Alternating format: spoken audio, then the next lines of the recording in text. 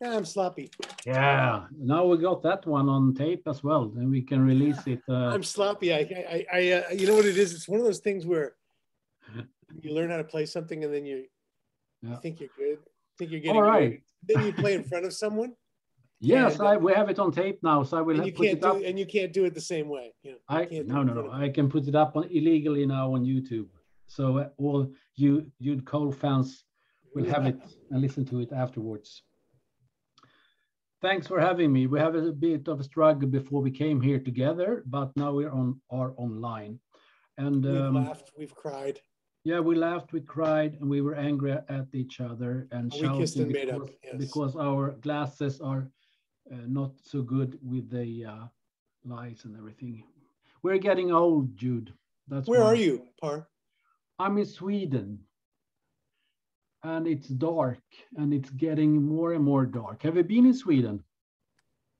Yes, many times. Why?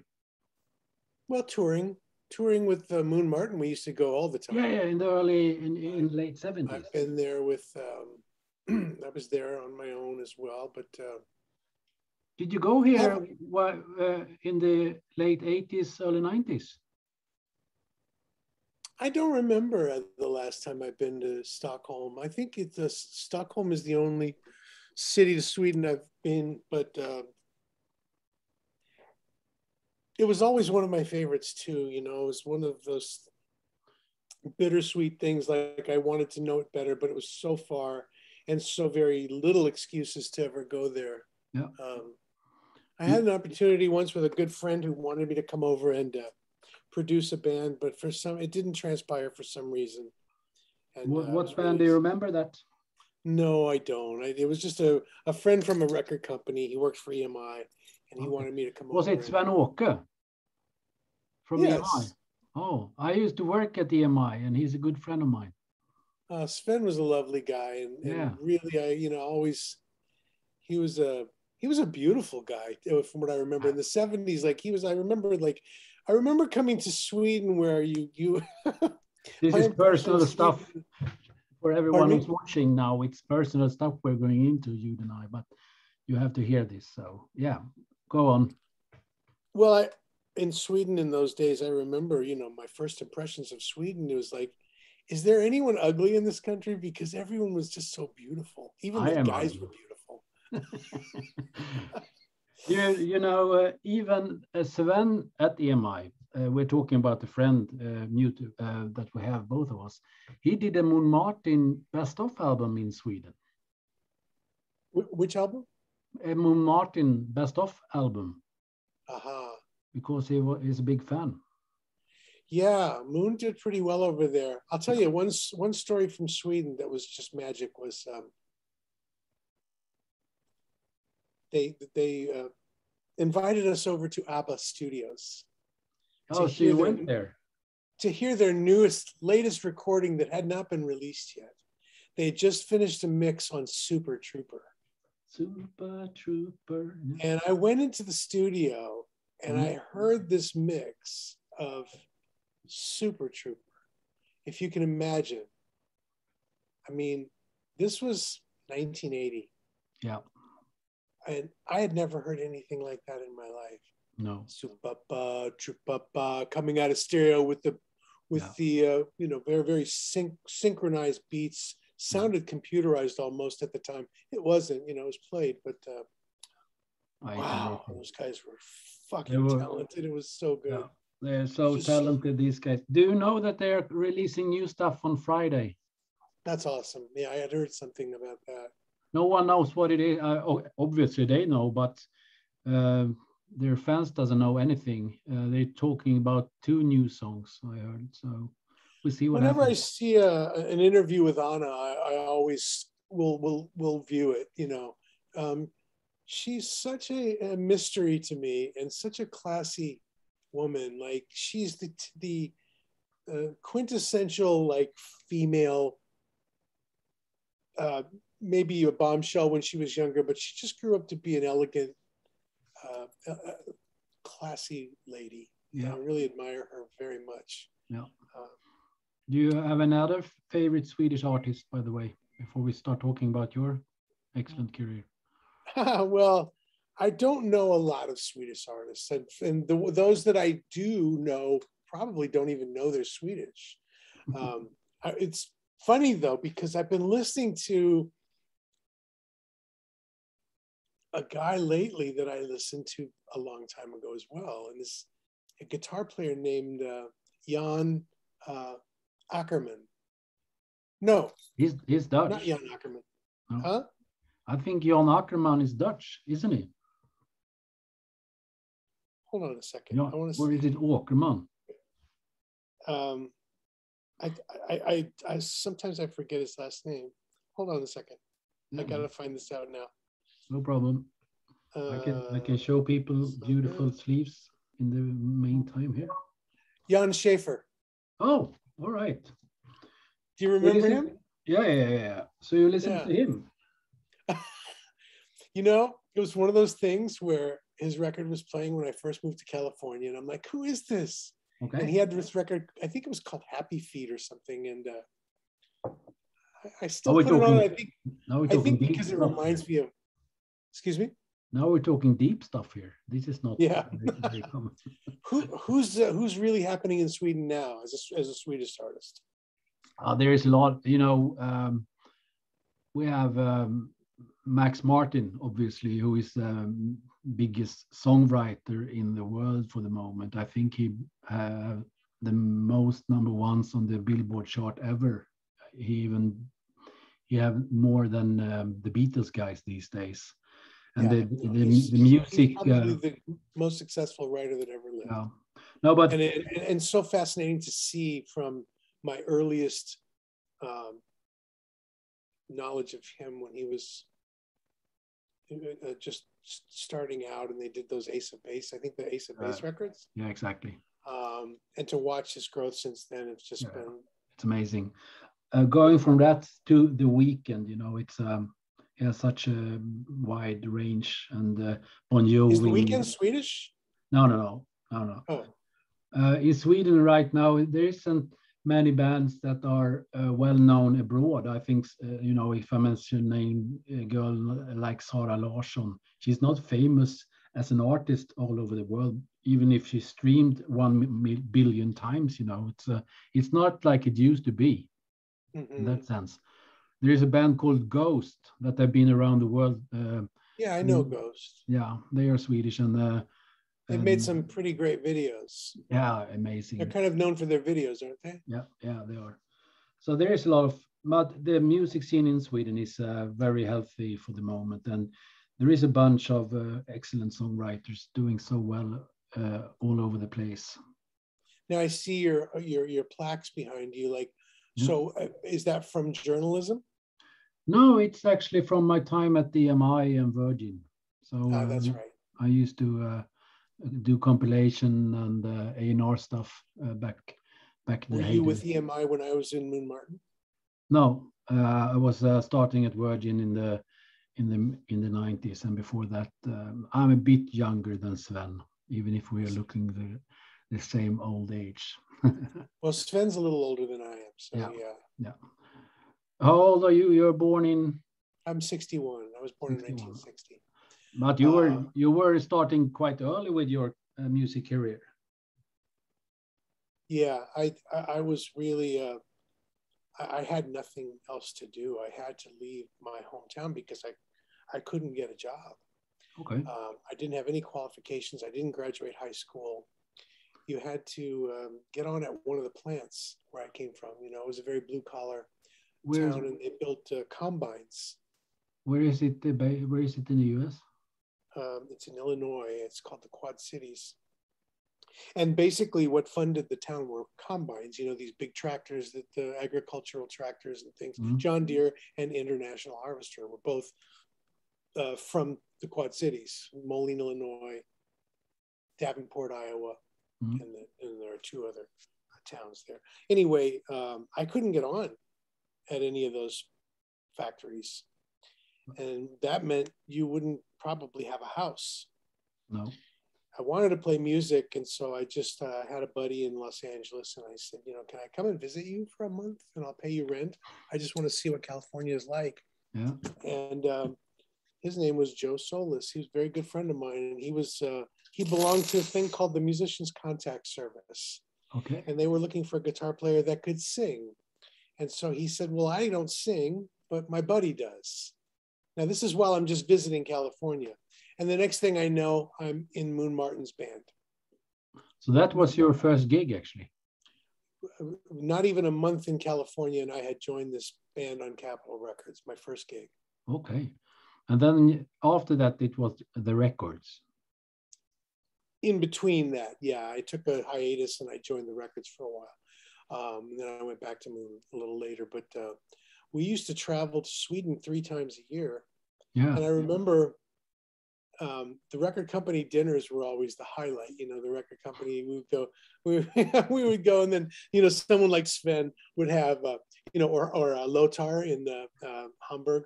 Um, Lothar. um, they would have their favorite restaurants, and we would go. And and I was 18 years old, and I would go to these restaurants, and they'd have a first course, they'd have a coffee, and then they'd have a, a starter, and then they'd have another coffee. and then they'd have the main course, then they'd have another coffee, then the dessert, and then they'd have another like a drink. And uh, and it was like, you know, the food was just insanely good. But at 18 years old, to make me sit at dinner for three hours or four hours, that was just like, oh my god! It got it got to be finally where I would be asking Moon, like, do you mind if I don't go and I'm just going to go to McDonald's? and see all the beautiful girls sitting there drinking coffee. Oh, the Swedish girls. Yeah, yeah. yeah. Are you are you uh, married these days? Uh, I have a girlfriend uh, that uh, will be 10 years anniversary in just a few days. Okay.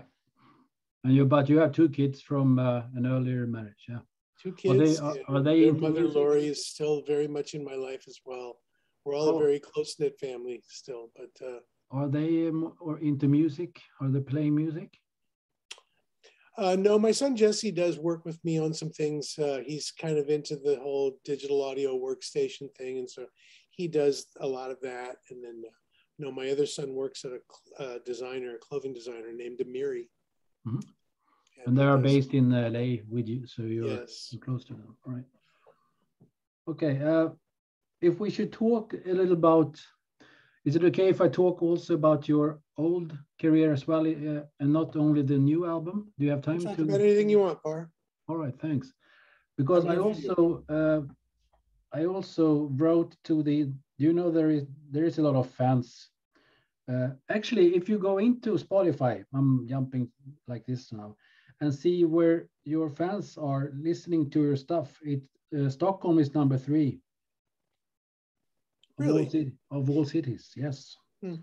I don't know if there's one person listening all the time or if, if it's a lot of them, but uh, your number three in the world is Stockholm. You know, you were quite uh, quite famous here, known here in Sweden. There's a lot of people who I think they did quite a good job, actually, the record company in the early 19th with Hmm. yours with your albums here. Yeah, that would be. Uh, it would have been uh, it's so fun to come back and and be able to do shows there, but uh, Yeah. I never did do that. No, it's I uh, wasn't much of a traveler. Yeah, but um, because I asked a few f- if, uh, the, uh, people in the group called Jude Cole fans if they had any questions, and uh, I promised them I I would um, I will ask some questions as well if it's okay with you, and um, I think it is because you seem to be a very nice person. And there's a guy called Brandon Bird. He has a great question actually, and it's a very nerdy question. Is nerd? Uh, yeah. Mhm. What's written on the Telecaster Jude's holding in his picture on a view from a Third Street album? That's a good one, isn't it? Those were the musicians that played on the album. So Lee Sklar is on there, and uh, Jeff Porcaro, Jim Keltner. There you got Uh, your answer. So they wrote their names on it. Yeah, and now I've just recently taken that body with those signatures and I put a. It was a Squier Telly. So Yeah. It was like back in those days. You know, I didn't have a lot of guitars back then, and so I let everybody write on one I didn't play on. You know, so Okay. I, they played on this Squier. They wrote on this Squier Telly. Now I've just put this new custom built uh, Fender neck on there, and I'm I'm probably going to break that thing out and put some nice pickups in it and actually play it.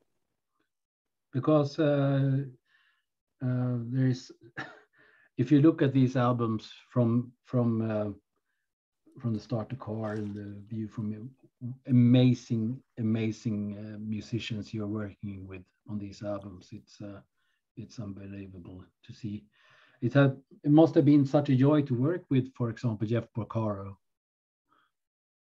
and It was a uh, very strong presence. yeah Jeff- Jeff presence is the word. I, you're, um, uh, it's um, and these producers, uh, for example, David Tyson. Why did you start working with him? Was it your idea, or was it the A and R people idea to work with him? Well, my first album was Russ Titelman, and he was such Yeah. a genius that I thought, well, I can't miss with Russ. No, it was Uh, Peter Cetera's idea to have you online uh, with Warner. Or there's Excuse me?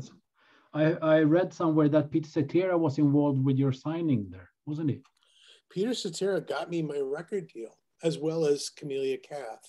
Okay. Camelia was the was married to Terry, Terry, of course. yeah. She was a friend of mine. She took the tape to Peter, and Peter took it to Michael Ostin, Okay. and Michael played it for his A and R team. Russ Titelman, what's you know all those. Yeah, guys. Russ was involved in that.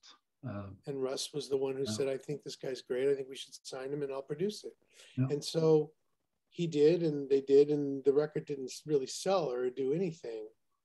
Um, the next record, I kind of wanted to work with a keyboard player mhm. because, as good as Russ was, I had ideas that couldn't be facilitated by my limited guitar playing yeah. and I really wanted. I love working with keyboardists. So I worked with David on that record. I worked with James Newton Howard on the following record. Exactly. Good And, um. I always love working with. Uh, so it's your choices uh, of producers, right? Both David Yes. and James. All right. Because uh, James was quite, uh, he was not into uh, producing so much records in the early 90s. He was more into writing scores for uh, films and stuff. So that was uh, when well, I I went it. to my uh, record company one day, and I was telling Michael Ostin, you know, I heard a soundtrack, and I just identified with the music so much. It was almost like if I could write something, that's what I would write. And he said, "What was it?" I said, "It was a soundtrack by James Newton Howard." He said, "Oh, James is a good friend of mine." I went, "Well, that's amazing. That's cool." He said, "Well, you want me to play him some of your music?" And I went, "Of course, sure," and thinking that nothing would come out of it. And uh, shortly thereafter, he called me and he said, "James would like to meet you." And Cool. so we met. And uh, funny enough, I just had dinner with James um, a couple of weeks ago. So we're still friends. Is your and friends still friends? Yeah. He's a lovely, lovely guy. But more than that, he's he's just so frighteningly, frighteningly talented. it kind of pisses me off. Yeah. He's, uh, he's one of those musicians. He has perfect pitch, and uh, he's uh, he's. Um, do you remember what um, soundtrack it was that you were so impressed with? yeah, it was. Um, I think it was called Promised Land. It was Kiefer's. I had been to Kiefer's, uh, Kiefer Sutherland's uh, screening for Promised Land. Okay. So you were Very friends with. Kiefer so that early. He, he was not coming into your life later. Yeah, Kiefer and I have been friends. Kiefer and I were friends for many years. They're over 30 years. Okay. So because I was uh, I, I was thinking about talking about him a bit later about your collaboration, but then you told me that right now. I'm looking at all the albums here. Um, you know, for me, this is you start the car and the view from it. I, you know, I'm talking to one of my top three guys, so that's why I'm a, I'm a little starstruck here, um, Jude.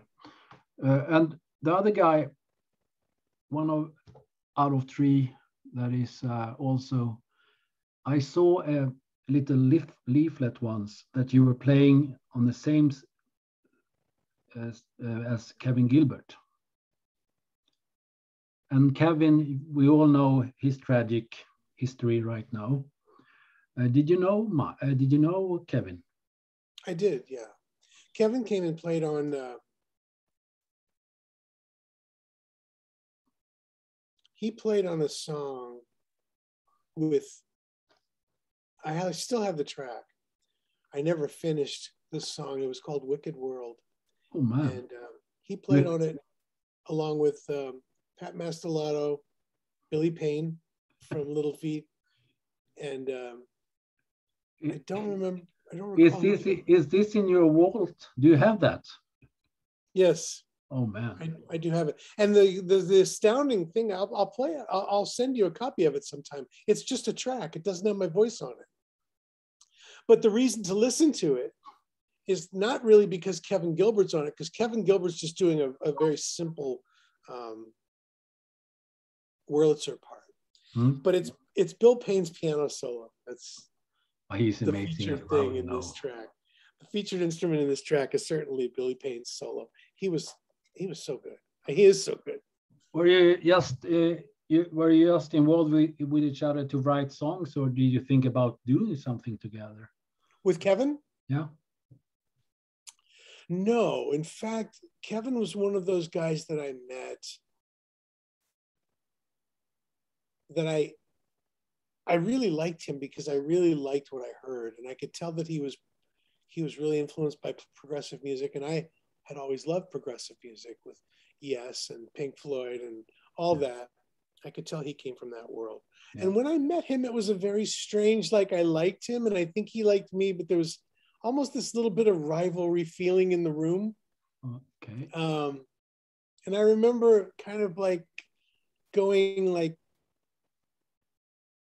I was happy he had come to my session, but I didn't think that I would maybe ask him back because I didn't like that energy in the room. Okay. There's no hard feelings on him. No, no, no, no. no. I just I just recognized it to be kind of like almost uh, two alphas in a room, or or you know something like it didn't work. No. It didn't work for the room. No, no, no. I'm very sensitive and, to that. And uh, oh, he's he's an artist. I can tell you. Know, it's um, yeah. yeah. Well, and, and and and not to blame it on him. I'm, you know, it takes two. Yeah, yeah. It takes and, two. And now you're working with his uh, sidekick uh, from the Toy Matinee era, Pat Leonard, on your new album. Uh, who? Pat Leonard. Don't you work oh, with Pat him? Leonard. Yeah. yeah. Pat, Leonard. Pat, Leonard. That's why. Patrick has. Um, Patrick's been a good friend for many years now. I did a Jewel's record with yeah. him. I was a I was kind of Jewel's hands. Um, I, you know, they had me put her plastic nails. They had to go get my nails done and get female nails put on my hands so that I could finger pick the guitar like hers. And then I had to almost relearn the guitar because, you know, my you're not joking. Are, you're not joking now. Is I'm not joking. I'm not joking. If you look at the record uh, Spirit, I did all the guitar work or most all the guitar work. Okay acoustic guitar work on that record because she played those songs well, but she didn't know how to play in time very well. And Pat was frustrated that he could never get her to lock in with the click. So he was like, okay, Jude, I want you to learn how she's doing this and what her style is, and then redo it in time. Does she think she's playing on it? No, she was with me the whole time. Okay. Because she, she had to show me how to play it. So you're not the ghost guitar player on that one. No. And my contribution, real contribution to that record was really the only hit single she had was a song that Pat had played me that was very ethereal. Mm-hmm. And I and I was the one that said, "Man, give me my acoustic. Let, why don't you guys try like a Neil Young, like you know? I wanted this." Uh...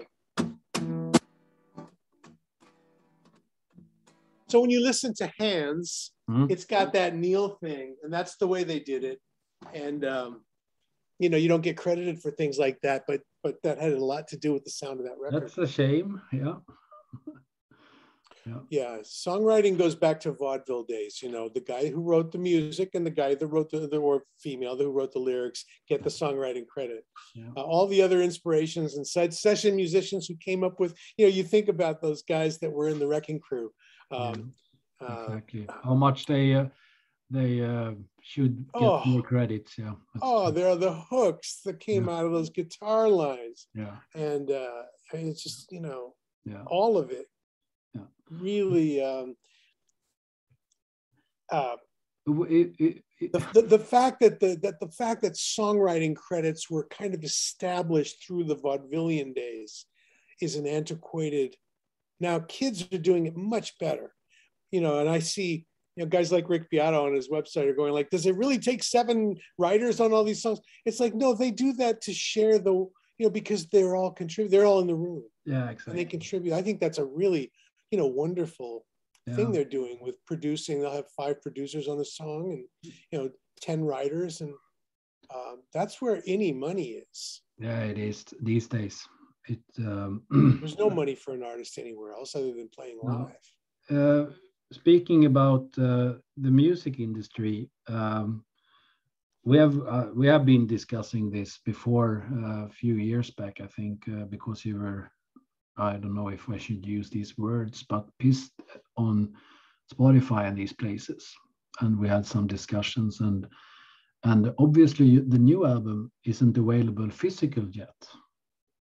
It's only available online. Yeah, I won't make it physical. Why? Uh, there's no reason for it. It, it, it will sit in trunk in a trunk somewhere.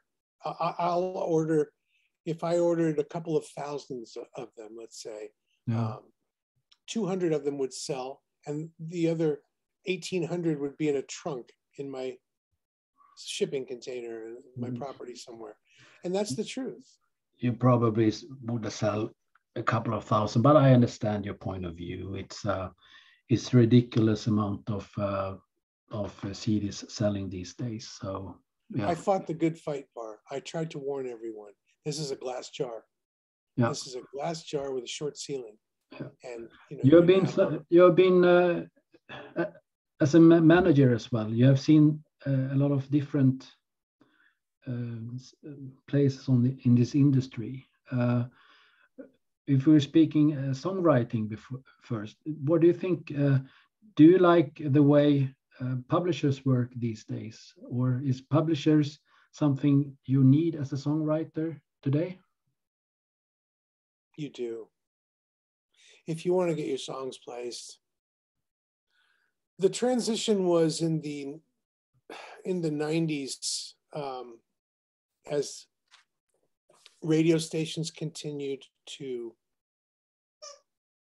Uh, I'm sorry, my dog is no, playing no. with a toy down here. um, but as as things kind of lassoed in and and became much smaller, all the record companies turned into three record companies. All the radio stations were bought by a few companies. So the consolidation of all of this was something that was happening. Mm. And then you would hear this word a lot. Well, we like the synergy. Uh, oh, let's let's have uh, some synergy here, meaning that the Warner record company really would prefer if you did a cover of a Warner owned yeah. copyright. Yeah. And you know, Warner television shows like to use Warner artists and that kind of thing. It wasn't exclusive, but it was preferred. Mm-hmm. And so um, that is compounded now to there's no more synergy because there doesn't need to be. Uh, there's only three companies and they all have synergy together. They're yeah. worldwide companies. And um, you're either with them or you're not going to get probably anything. Are you still uh, signed to a uh, to a publisher? Well, I'm signed to a, a publisher, but he's a small publisher that doesn't really solicit my material. Okay. Um, no, I got I own my own publishing. Mm-hmm. I'm signed to an administrator, but uh, I'm an owner guy. I you know everybody's been doing these acquisition deals, meaning they sell their catalogs yeah. like Bob Dylan just did, and Neil Young, and so on. The Kobalt, he's the Kobalt uh, uh, thing is a very, very. Um, it's unbelievable, actually, what they're doing with their mon- with so much money. But, yeah, well, Kobalt's been a very successful company, and yeah. uh, another Swede, you know, these these fucking Swedes, you know, they come and take over on everything, right? God bless them. You know, the, the Swedish understood pop music back when they were guilty pleasures for me in the 80s. I remember I was listening to ABBA records when I almost had to listen to them privately, you know. Yeah. Like, you know, when the police were big and all of that stuff, you didn't really, nobody wanted to hear about ABBA for a minute. But, no. uh, you know what first, uh, the first single that was number one in the US from a Swede, Swedish artist? I'll, I'm, I'm going to guess.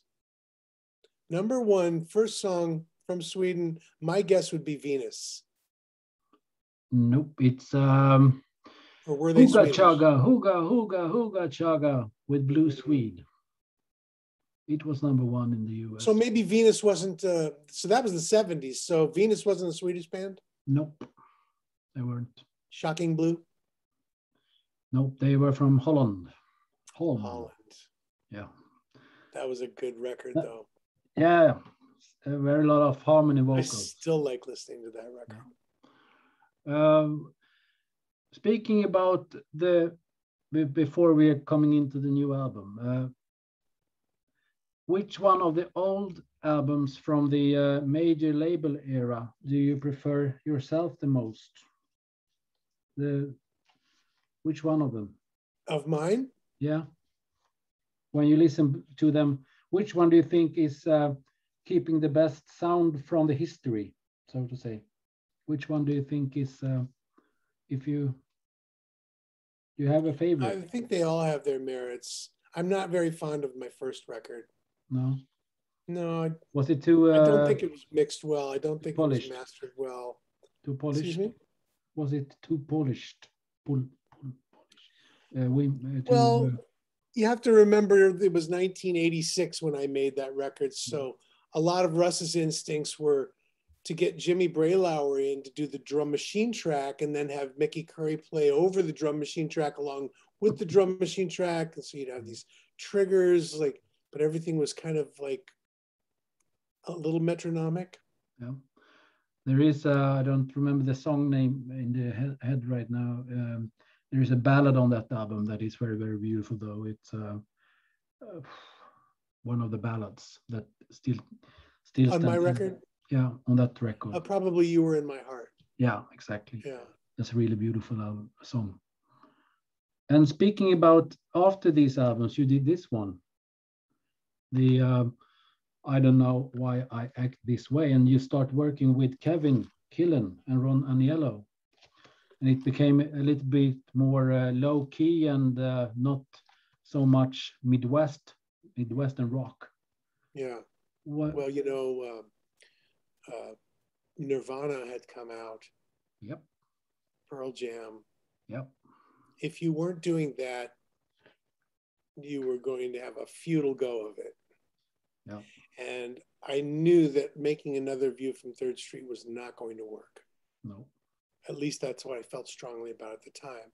Yeah. I was also listening to a lot of Paul Simon and Randy Newman and those kinds of artists. And so I was really influenced by the fact that those records seem to have the artist in the center. And any of the uh, musicianship was on the outer ring of, of, of the what, what I felt was the center. Like Randy Newman's piano and voice were at the center of all of his songs. James Taylor and his guitar were at the center of all the songs. Paul Simon and his guitar were at the center of all those songs. And I tried to really emulate that in, in that record. Yeah. No, it's a great record as well. Uh, even if it doesn't sound, it's another era from for you. This, but uh, it's a good album. Yeah, it's it's a it's an era that came and went so quickly. I I barely remember it, you know, because um, I was on Warner Brothers for the prior records, and then my manager was upset with Warner Brothers that they didn't make me a bigger star, and he pulled me off Warner Brothers, took me over to Island, Mhm. and then he died. Okay. He died. He died before I got signed to Island. Uh, Mhm. I managed to work out a deal with Island, but Chris Blackwell was never a fan of mine, and I think Chris Blackwell asked the president to get rid of me. It's a it's a pity with all these major labels and big labels that uh, if someone ends working, you know, you're getting in between people. It's uh, so, so frustrating. I don't think people ever understood what a boys' club it really was. It was Can you boys' ima- club. Can you imagine how many great albums there is in the walls that never been released because of pissed off A&R guys and pissed off uh, uh, vice presidents uh, and all this laying around, you know, albums with great artists. I'm going to tell you that I was in, in, in an A&R man's office. He was the head of an A&R company on a major label. I was in his office one day. This is no BS. And he was on the phone with one of their promising new signings. And he was producing their record. And they wanted to do something. I don't, this is a long, quite a long time ago. And he, they wanted to do something different than he wanted them to do. And he said, Well, I'm hearing only one side of the conversation, but he says, uh, "Yeah, are you sure you you really want to do that, huh? Because I, I mean, I've told you a couple times, like I'm, I didn't. That's not my instinct, and I don't want to go that way. But you really feel strongly about it, huh? Okay, all right. Well, uh, I'll talk to you later. Hung up the phone. He goes, "They're off the label." Oh man. and I don't think people realize what a boys' club that it's always been. I, I, I can't say it's a boys' club now No. because there's a lot of females involved. But in those days, I, should, I hate that word that term in those days. But you know, no, from, I, the, from the time I've been in the business up until about 2000 and something, it was a boys' club. yeah, it was, it was, it was, and uh, that's that's better these days when you can do all, all your stuff yourself and get out in the world with it. Well, the Um, most interesting story I found was Billie Eilish because Billie Eilish seemed to have done it herself. Her brother and she somehow managed to climb up SoundCloud Yeah. and then climb up Spotify to where she didn't even need a deal.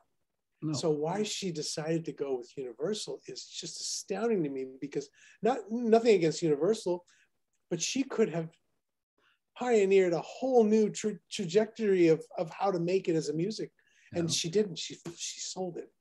I think they cry though when they wrote the contract because I think she has a good contract. But still, I I agree with you. Well, you know, her contract was just sensational, yeah, but her but, both, but most of these contracts are involve 360 you know, deals. Neil, yeah. and they'll give them a fuck ton of money, but.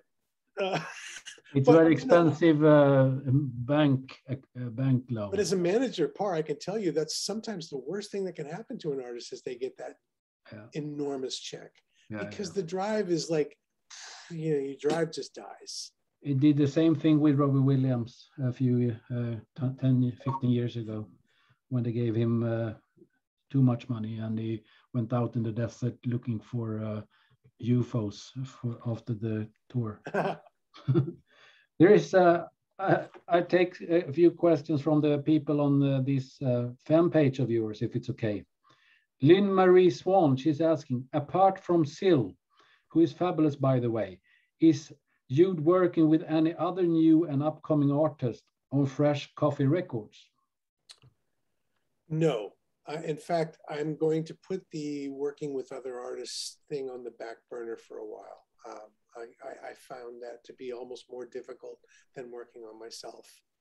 Um, with new artists comes new personalities, and some Yep. of them, um, some of them adapt um,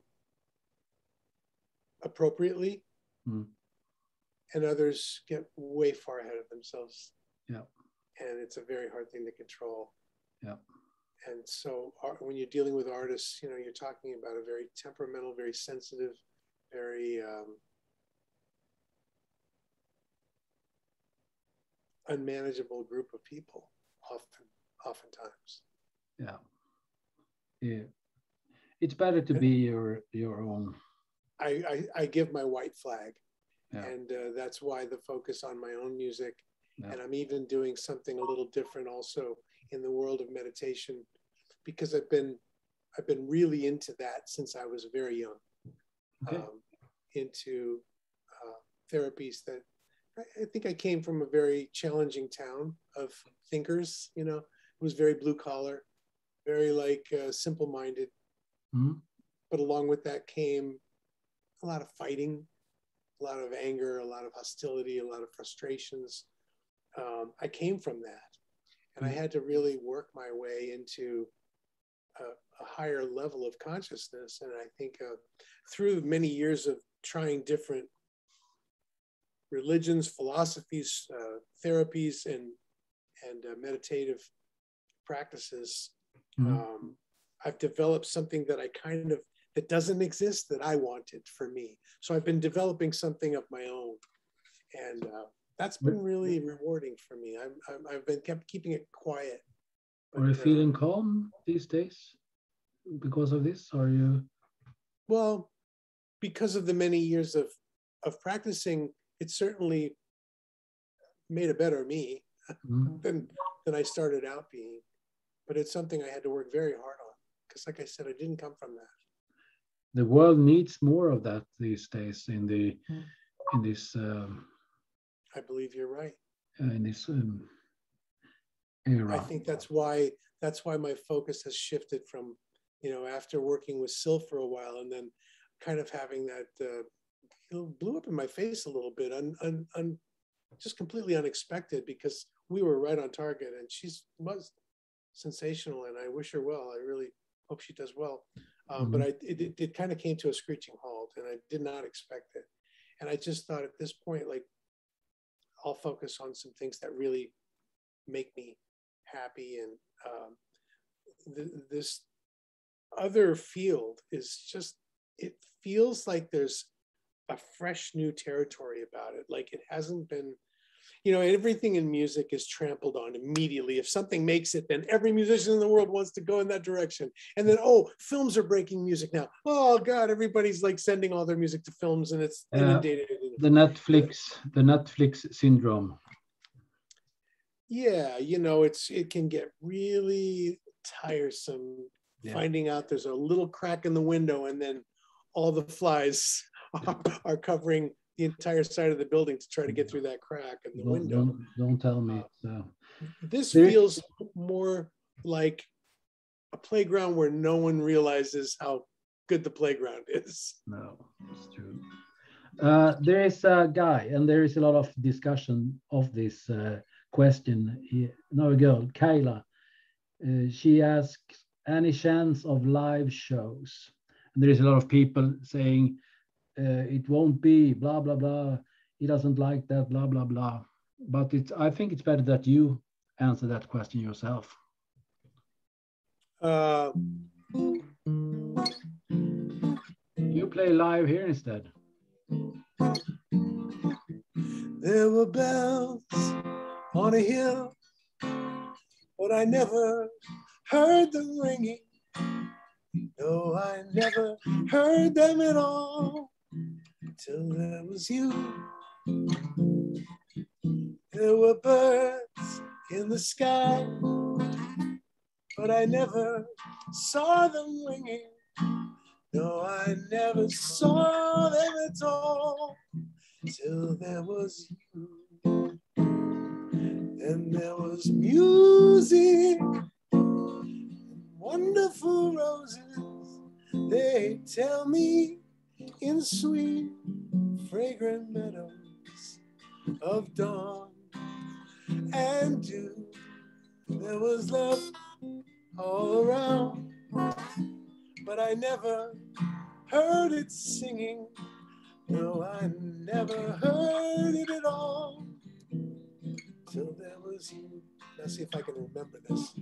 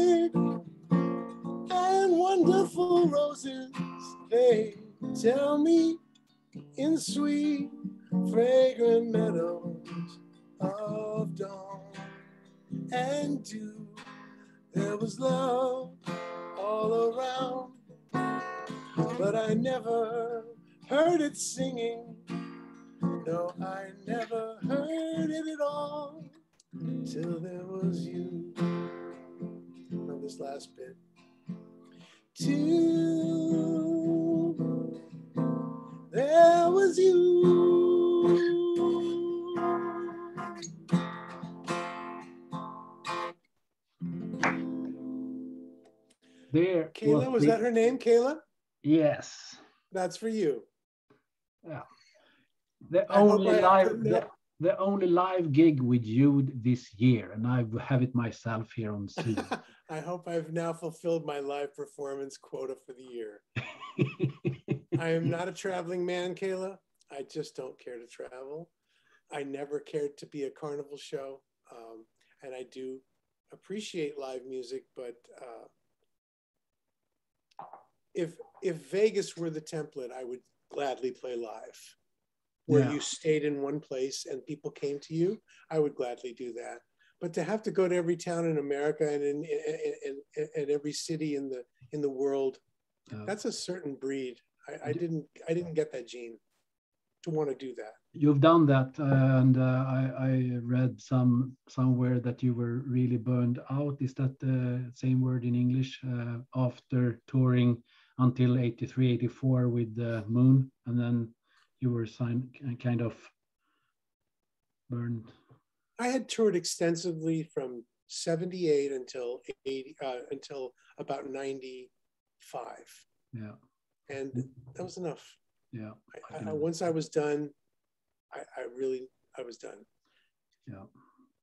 I'm I'm thinking about this uh, promotion idea that Aware a record had in the 90s, where they took their artists out on high schools, universities in the US, and have their artists building their brands, uh, like John Mayer did back then. You know, gigging themselves to success. Mhm. It was a really good idea back then. Uh, Yeah, yeah. I think Well, there know- is a, oh sorry. It takes a lot of commitment, and I really admire people who do it. Yeah. It's it's not something I've had for many years now. I've just I've been really enamored by making, trying to make better records, trying to write better songs. That really kind of excites me. Yeah. Whereas the other is more about like you've already written the song, now you're going to go play it, and you're going to play it tomorrow night. You're going to play it the night after that, and the night after that, and then the crowds, you know, they cheer you and they make you feel really good about it. That's nice, but everything else about it is like, what time is our lobby call? What time is our bus call? What time is our sound check? What time is dinner? What time is the show? What time is the meet and greet? Yeah. You gotta be fucking kidding me. Yeah. I, that's that's prison to me. That's prison. Yeah. That's not fun. So if you did the Celine Dion's the Celine Dion uh, thing in Las Vegas, it would be great for you. It would be amazing. Yeah. Even with Celine Dion, I, I would I would sing with Celine Dion.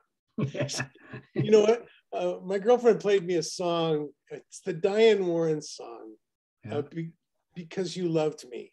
Mhm. And I don't think I had ever really, you know, I'd never been in that kind of music, into that kind of music. I never really listened before. So she puts it on in the car, and I'm listening to this song because Yeah. you love me. And damn if tears didn't start strolling down my like I literally started crying. Because of her voice and because of her great song and the song. Oh my god. Yeah. Both of those things. Yeah, it's definitely both. Yeah. She has She such an ID in her voice that is something extra, even if it's not my sort of music normally, you know, it's uh she's amazing. She's amazing. Well, so I came home and I found the song of her playing of, her singing it on YouTube yeah. and proceeded to watch it for the next three or four days, just kind of incessantly, Yeah. trying to bring back that emotion again. Yeah. Speaking about Celine, uh, I know that Aldo Nova, you know, the old AOR guy from Canada. He wrote a song that came on one of her big selling albums and it gets a lot of money to him.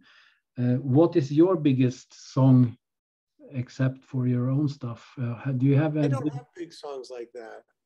I don't have uh, on the ones I penned on my own. I don't have like that. The most successful uh, songs of, of that uh, that I have been co-writer on were Lifehouse songs. It was all right, but the, yeah. Travis Tritt did one of your uh, songs. Travis Tritt did "Start the Car." Yeah. Billy Ray Cyrus did "Time for Letting Go." Yeah, but there were quite a few country artists that cut my songs back in the late '90s and yeah. early 2000s. I think "View from Third Street" was one of those records that uh, a lot of people in the music business liked because it was engineered the way they wanted to do their records. Yeah, and you actually produced Clay Davidson back then. With Scott Hendricks, I did, yeah. yeah. And um, did you have ideas, uh, any thoughts about moving down to Nashville and become a, uh, a country producer or country writer or whatever? I did. I've had many thoughts about it. I even bought a place there and I never moved into it. And um, yeah, now it feels a little passe.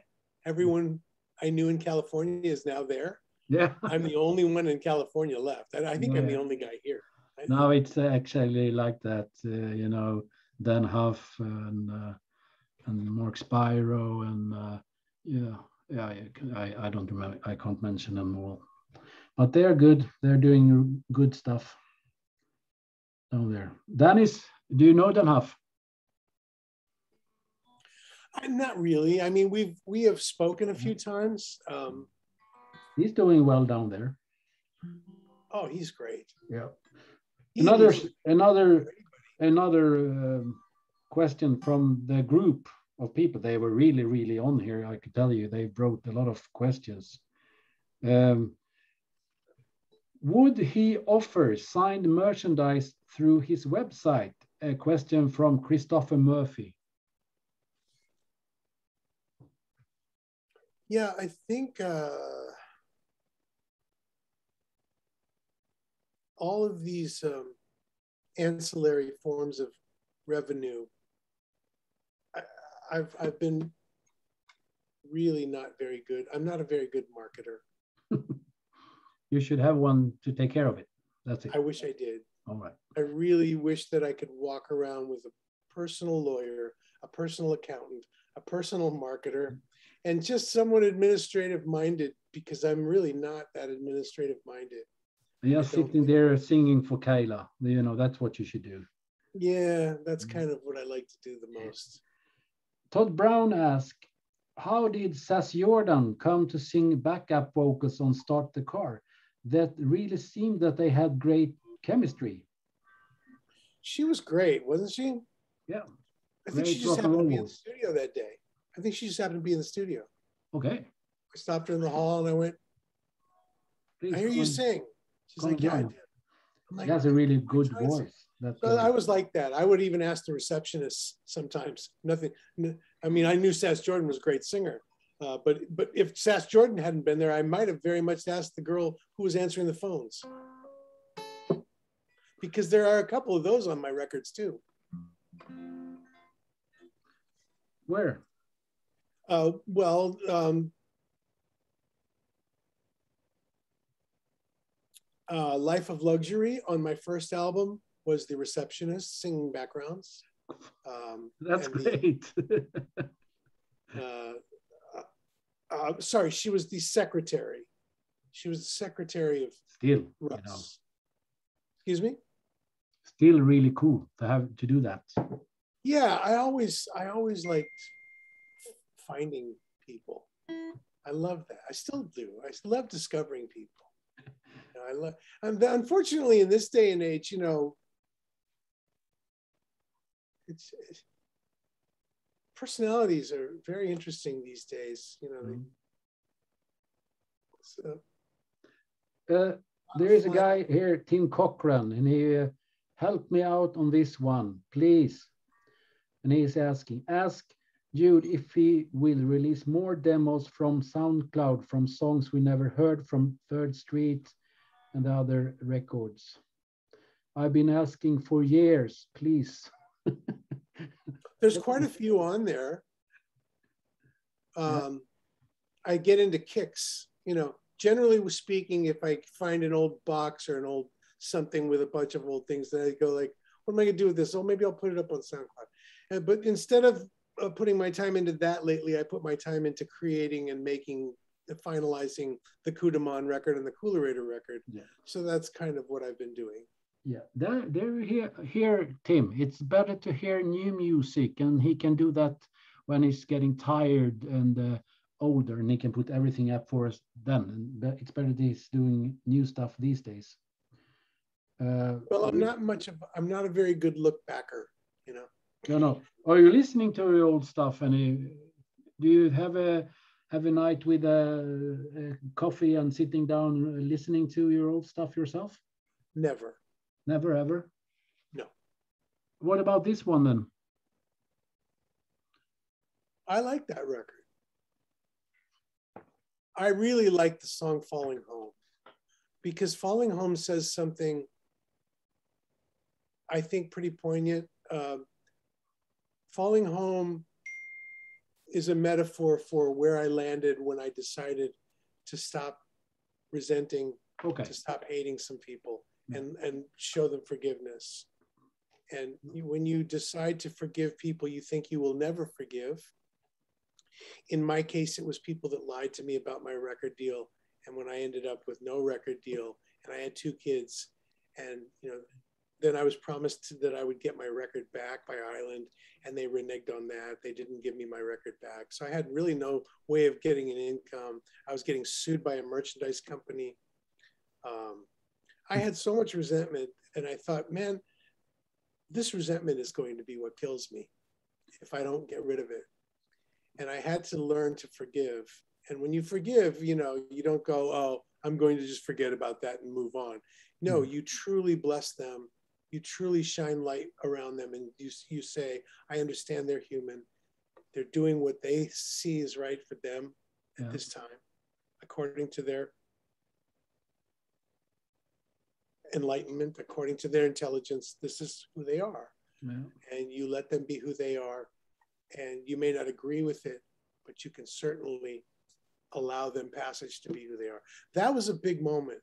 And so Falling Home is a song about that, about where you land when you decide to forgive. Pull back. And I realized that the reason, just to finish that, Yeah. that story, because I never told this, the reason that that picture is on that cover was that Or, the, the, one. the front cover. Uh-huh. That was the day my father brought me my, my very first guitar. I can't imagine more anything more exciting than that. Yeah, you look happy. That's where forgiveness brought me back to. Um, I'm right. I'm writing. Uh, I'm reading the the lyrics while you were speaking, and uh, I can understand your meaning of it right now. Forgiveness was the answer to going back to that child uh, or that that sort of innocence. And so that was a that was a very significant record and therapeutic record for me. It's a very beautiful one. I, I, I really love this album. I do. And that was a self-made record. That was not a major label. That was No. a little Watertown label that I had started, very much like Fresh Coffee is to me now. And you play a lot of in instruments on here yourself. I did a lot of it in my room, in my bedroom. Can't you play some uh, few lines from Falling Home? Live? From the song Falling Home or the Yeah. album? or from yeah from something from this. I don't know that I can. I'd have to hear it. I'd have to hear of, of us. I would. I don't know that I. I, I uh, name a title.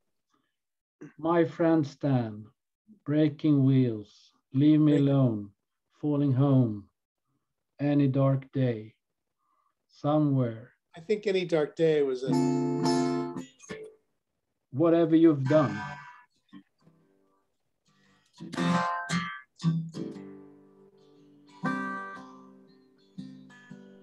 Whatever you've done, it can't be that bad.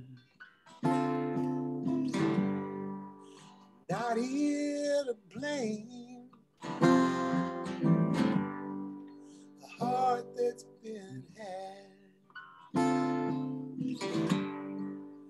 The river runs free.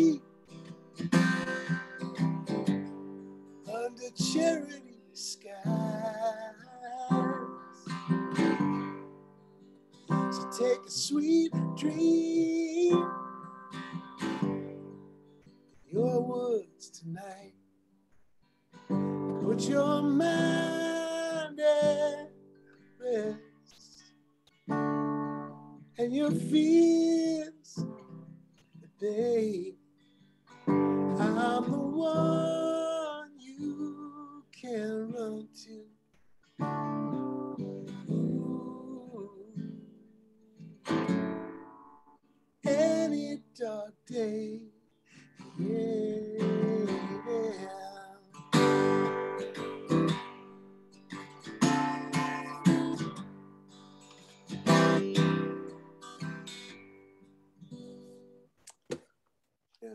for something else, so I have to wrap this up soon.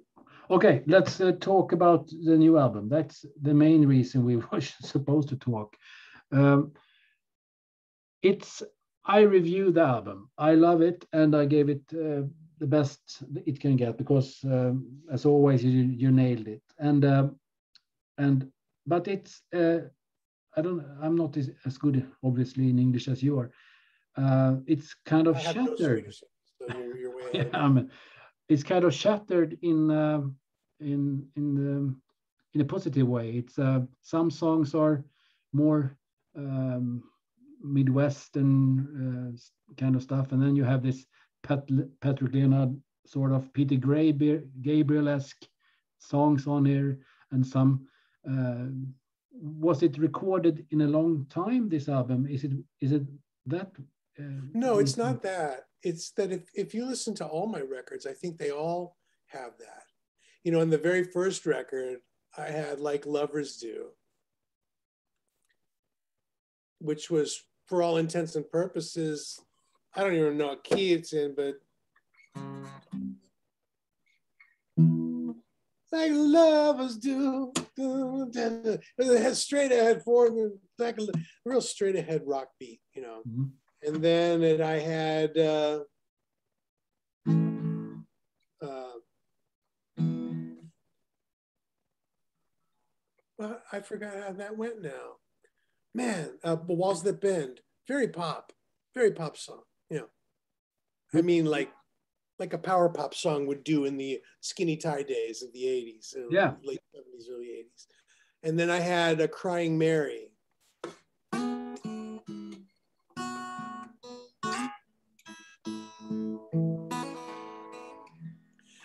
knew Mary. I mean, that's a country song. It's a great She country. was a baby. Yeah. Uh, so from the very onset, I I couldn't just be a. I wanted to be an AC/DC type thinking uh, artist, where it's like, no, I do this. because honestly, when you drill something home like that over and over, people tend to get it better you know you're one of a thousand artists yeah. and you need to drill something home for them to really say i get them yeah. no one ever really got me and that's probably a big reason why mm. but i'm okay with that yeah no it's uh i'm satisfied with that it should be it's uh, well i uh you know if you listen to the new album uh, i mean i've been listening to you since uh, since the mid 80s and uh, if I should pick out one of the best three or four songs ever with you is "The Dark." It's a it's an amazing song. Uh, night with your headphones on. How do you come up with a song like that? It's uh, are you influenced? Generally, generally, I just. Uh... It's also lyric wise, it's very nice. It's uh.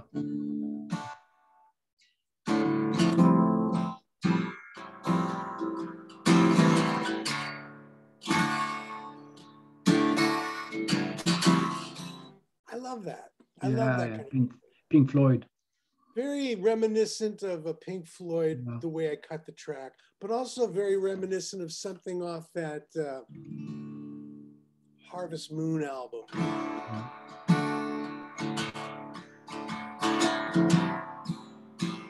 That's a real Neil Classic. and then Pat came down and brought his synthesizers down. He knew I was into Pink Floyd Mhm. and uh, knew that's the type of thing I wanted to make. And man, you know, Yeah. just keeping the drummer simple like Nick Mason would play, and then Yeah. Pat with all of his beautiful synth lines. That was a really and and singing about a topic that's of real interest to me again. You know, getting into the, the metaphysical, more meditative thing that Eckhart Tolle is a huge influence on me, and then uh, has been since about 2006 Yeah. And just kind of trying to put into words um, that magic in between and sometimes that mystery in between excuse me which is the, the what they might call the god particle. What's between the space between you and i standing in a room together that that energy that we all live off of that we all live inside of. Um, some would call it the dark when the lights are off and there's nothing. Well that's what it really is because the light only illuminates you know the things we can see but without that it's it's the dark. And so i use that as a metaphor really um, for the god particle. And there's great and also some ominous things that come out of that god Mhm. particle. So i tried to just kind of go from there. We we should do a, uh, an interview you and i go through all the songs on the album sometime.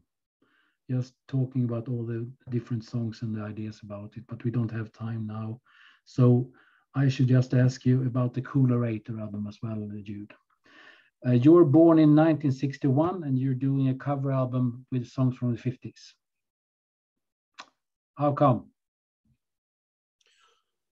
Well, I was in a band uh, from the time I was 12 years old. I've been in bands, and so we did all the typical stuff. You know, we did a whole lot of shaking going on, and we did Good Golly Miss Molly, Rock Around the Clock, and all. We did all that stuff, right?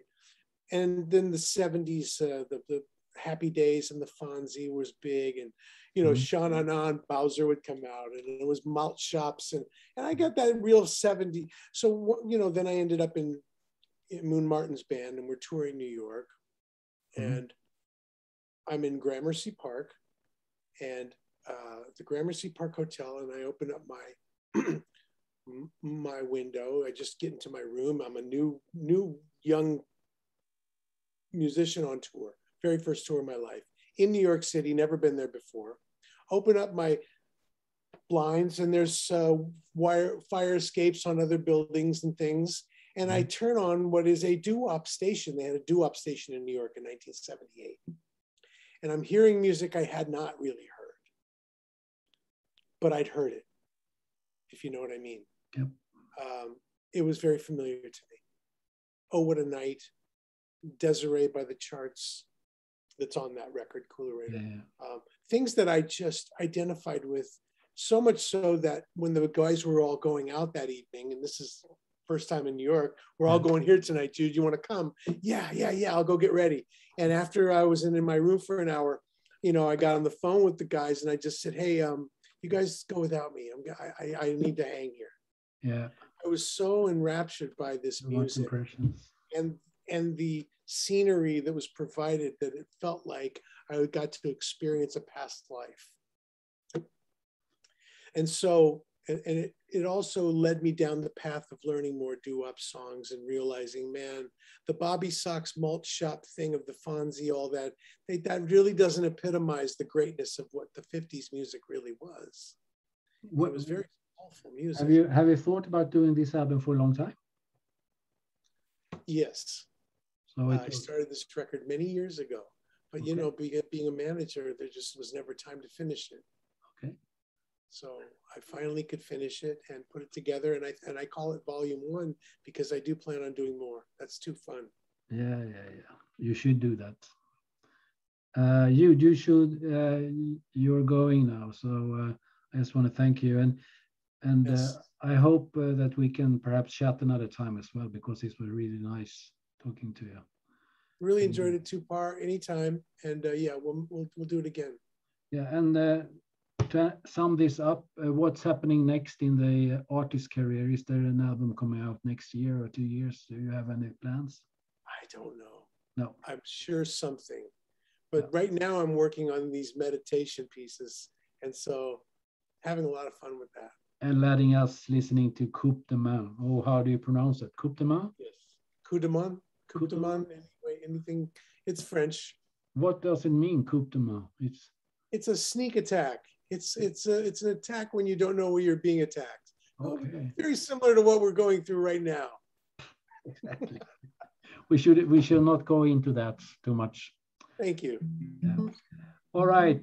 Thanks a lot, and uh, take care. What are you going to do today? Are you going out? I'm preparing. I have to prepare for uh, my 10 year anniversary. that's coming up on. Oh yeah, that's right. Be a gentle guy now. I appreciate it, Par. I'll talk to you again. Yeah, thanks a lot. All right. Bye Take now. care. Bye bye.